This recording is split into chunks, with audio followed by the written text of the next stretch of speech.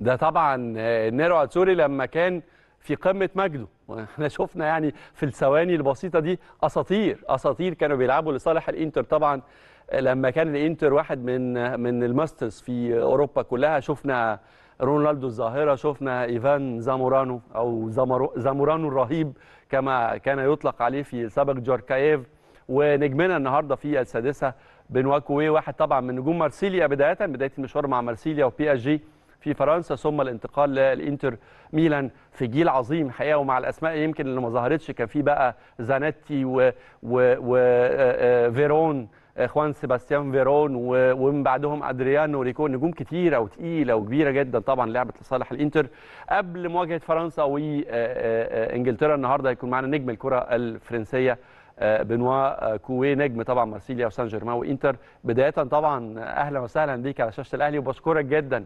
على مشاركتك معنا ساعات قبل مواجهة مهمة جدا للمنتخب الفرنسي في آه، مواجهة نظيره ال- الإنجليزي طبعا في دور الثمانية في كأس العالم.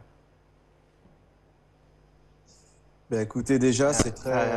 بالفعل شكرا لكم هذا شيء رائع وشيء وشرف لي أن أتواجد على قناة طاقم اليوم وهو شيء كبير لي ومن دواعي سروري دائما عالم كرة القدم في كل مكان كما نقول ويدعم الجميع وبالتحديد في مصر وف- وفي فريق كبير مثل فريقكم فريق فريق النادي الأهلي. آه، وب- وبالفعل شكرا لكم. أنتم تظهرون شيئا رائع وسمعة جيدة للكرة المصرية والكرة في العالم. ولا بد أن نستفاد من هذا. فشكرا لكم جزيلا. الشكر كله ليك. موصول طبعا آه،. بداية ويمكن قبل ما أدخل في مباراة الليلة اللي هتجمع بين إنجلترا وفرنسا أنا عرفت إنك أنت بتظهر معانا دلوقتي لايف من آه، لشبونة من آه، عاصمة البرتغال. ومباراة طبعا ال- ال- الدور الثمانية آه، البرتغال والمغرب آه، يعني في شوطها الثاني يهمني أشوف رأيك في إذا كنت بتتابع المباراة رأيك في المستوى المنتخب المغربي اللي بيعتبر مفاجأة البطولة تفوقه حتى الآن أو حتى اللحظة على المنتخب البرتغالي المدجج بالنجوم طبعا. وردود الأفعال عندك في البرتغال عاملة إزاي؟ أنا أرى أنه شيء واضح. هم هم حققوا آه، أرقاما رائعة على مستوى المونديال. لاعبون لديهم القدرات الكبيرة. آه، والمواهب ال- الظاهرة بشكل واضح. هو فريق أيضا يعتمد على أداء جيد. لديهم دائما آه، نظرة جيدة وتكوين جيد للفريق. أعتقد أن أن أن المغرب هي فعلا الدولة التي تدعم هذا الفريق ولهذا هم هم وصلوا لهذه المكانة التي نراها اليوم. أعتقد أنهم مثال رائع للكرة الإفريقية. آه، آه، يعني إذا ما فاز نجحت فرنسا في الفوز على آه، إنجلترا النهارده هت يعني هتتأهل لمواجهة واحد من الفرقتين البرتغال سبق ليها إنها كسبت المنتخب الفرنسي في نهائي اليورو. المنتخب الفرنسي أيضا في بطولة كأس العالم الحالية تعرض للخسارة على إيد فريق من فرق شمال أفريقيا مشابه لحد كبير لأسلوب وطريقة لعب ال- المنتخب المغربي وهو المنتخب التونسي. وبالتالي هل بتشوف إنه المواجهة أصعب؟ هل أنت شخصيا تفضل مواجهة فريق على حساب آخر؟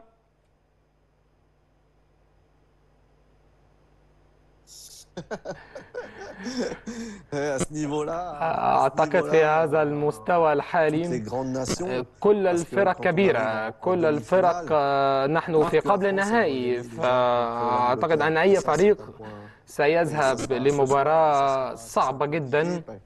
ولكن اليوم فرنسا ستلاقي إنجلترا وستكون مباراة صعبة جدا وفريق قوي جدا.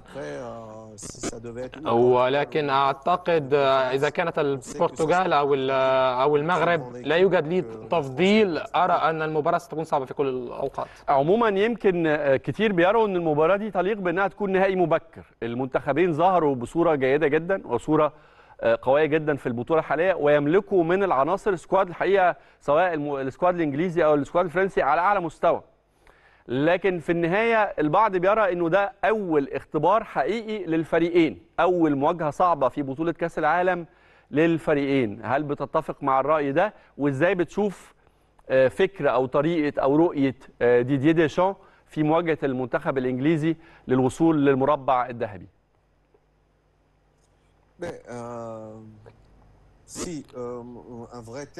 نعم نعم آه، هو هو هو هو اختبار صعب هو اختبار صعب.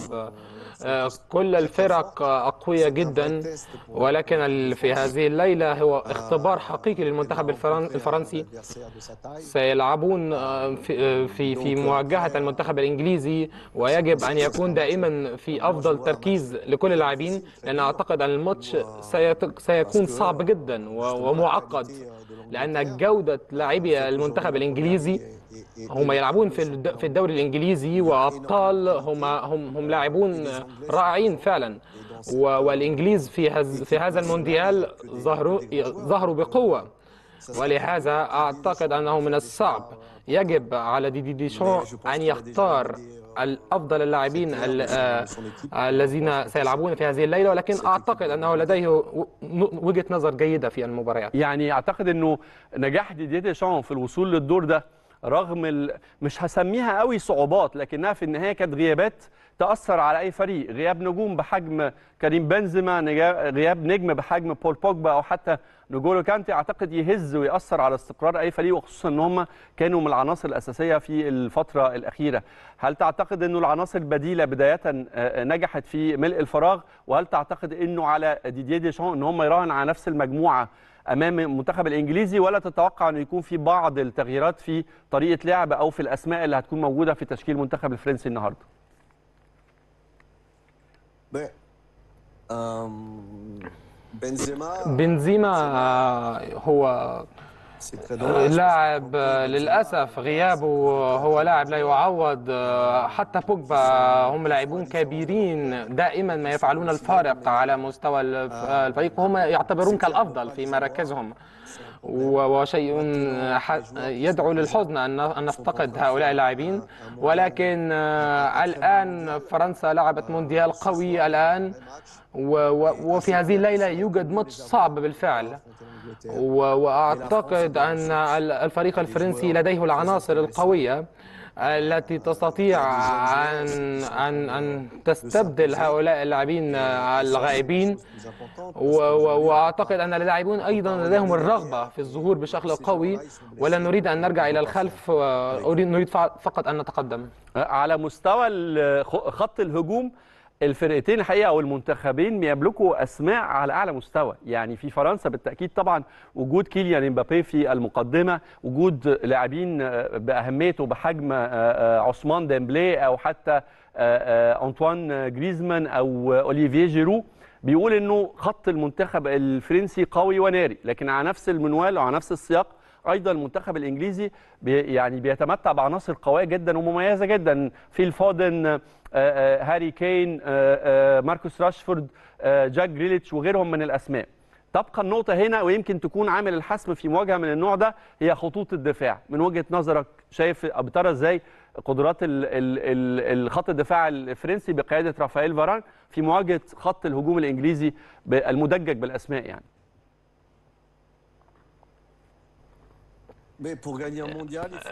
للفوز بكأس العالم يجب أن تكون قوي في جميع الخطوط يجب أن تمتلك عناصر في كل الخطوط.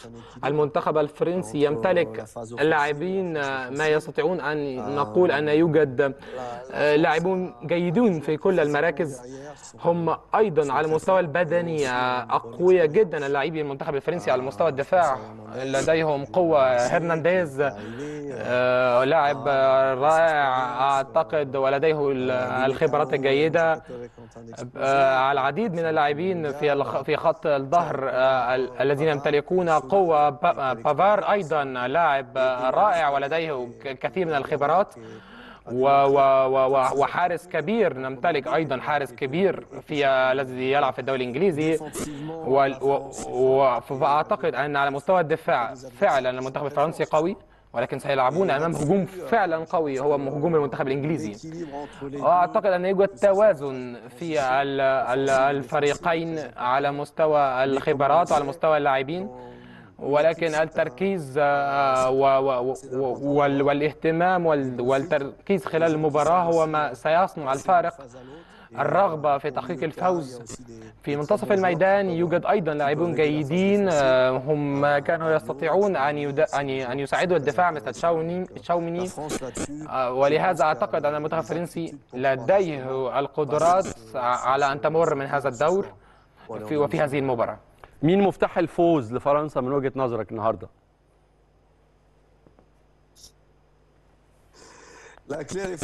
أعتقد هو امبابي طبعا هو شيء سهل أنا أقول هو امبابي هو يستطيع أن يفوز الماتش بال- بالمباراة هو قادر على تحقيق آه، هو لاعب رائع لاعب مختلف آه، يمتلك العديد من الإمكانيات التي لا يستطيع آه، خط دفاع أن يضاهيها وهو هو دائما لديه الرغبة هو جائع للح- للحصول على أكثر و- والذهاب بعيدا فلهذا هو طبعا هو آه، إمبابي هو مفتاح المباراة وهو يع- يعتبر في الوقت الحالي كأفضل آه، اللاعبين في العالم أو أحد أفضل اللاعبين في العالم. هو الحقيقة يمكن آه، بيواصل آه، تألقه ونجح في كسر رقم قياسي حققه طبعا أسطورة كرة القدم البرازيلية بيليه اللي سجل آه، سبع أهداف في مشاركته في كأس العالم قبل ما يوصل 24 سنة. آه، نجح آه، كيليان امبابي في الوصول لتسع أهداف قبل بلوغ السن ال 24 وبالتالي أعتقد إحنا بنتكلم على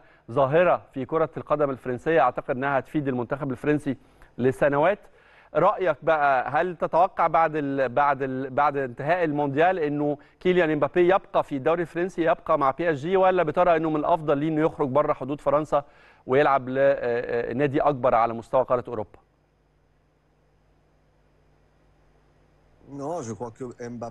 أعتقد لا امبابي لديه عقد مع باريس سان جيرمان وهو جدد تعاقده مع الفريق ولا ولا يستطيع الذهاب هو فعلا لاعب كبير وهو وهو فعلا ريال مدريد وعديد من الفرق الكبيرة في أوروبا تتمنى أن تحصل عليه ولكن أعتقد أنه محترم لتعاقده مع باريس سان جيرمان. هو هم أعطوه الكثير من الأموال الذي لا يوجد نادي يستطيع أن يعطيه إياه. و- وأعتقد إن إن حصل فرنسا على كأس العالم. آه، أعتقد أن هذا شيء سيجعله يجلس في فرنسا ويبقى في فرنسا مع باريس سان جيرمان. سؤالي الأخير إذا ما نجحت فرنسا في بلوغ المباراة النهائية من تفضل أن تواجه؟ المنتخب الأرجنتيني في مواجهة هتكون من العيار الثقيل أم المنتخب الكرواتي في سيناريو مكرر من نسخة كأس العالم روسيا 2018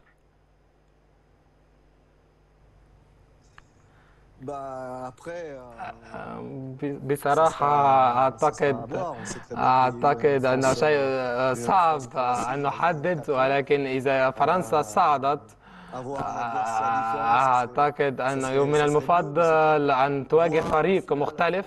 سيكون شيء أفضل. وإذا رأينا مواجهة بين فرنسا والأرجنتين ميسي وإمبابي سيكون شيء رائع لأي أحد يحب كرة القدم. سيكون شيء فعل بالفعل رائع سيكون نهائي يليق بكأس العالم. ميسي نعم لديه آه، هو في عامه الخامس والثلاثون ولكن هو يستطيع أن يفوز بكأس العالم. وفي الجانب الآخر في فرنسا يوجد آه، إمبابي الذي يتمنى أن يحقق التاريخ ويفوز بكأس العالم للمرة الثانية على التوالي. أعتقد يوجد العديد من المواقف ولكن من المفضل أن نفكر في مباراة الليلة. وثم بعدها في مباراة قبل النهائي وإذا مرت فرنسا سن- سنقرر ماذا نتمنى أن نواجه في المباراة النهائية. وما نتمناه فعلا أن نفوز في هذه الليلة لأن المباراة اليوم فعلا صعبة. بنواك ونجم الكرة الفرنسية مارسيليا سان جيرمان والإنتر الإيطالي. بشكرك شكرا جزيلا.